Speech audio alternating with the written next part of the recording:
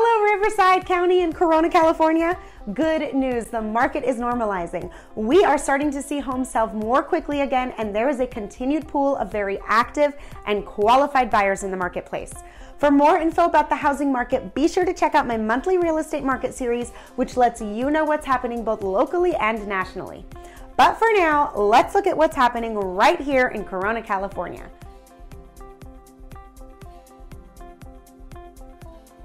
Hi everyone, I'm Heather Jones with eXp Realty and Heather Jones Homes.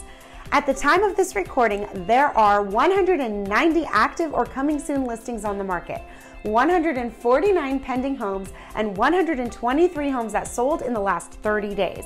Homes sold for an average of $747,000 and were on the market on average about 32 days.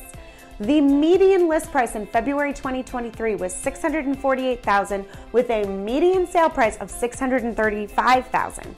But March is trending upward so far with homes selling an average of 2% over list price as the median.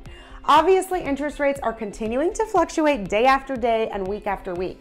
So it's important to speak with your local real estate professional to get the most accurate insight as to what you need to be able to purchase a home in today's market. And you can see with the changing market, it's no surprise to us that homes are staying on the market longer than they were a year ago. With the constant shifts, you need an experienced agent to help guide you through your next moves in real estate. Connect with me today to get more information and we can strategize on what you might need to do to your current home to get top dollar or connect you with the right people to get you on your way to home ownership. Again, I'm Heather Jones with Heather Jones Homes and eXp Realty. Let's make it a great home buying and selling day.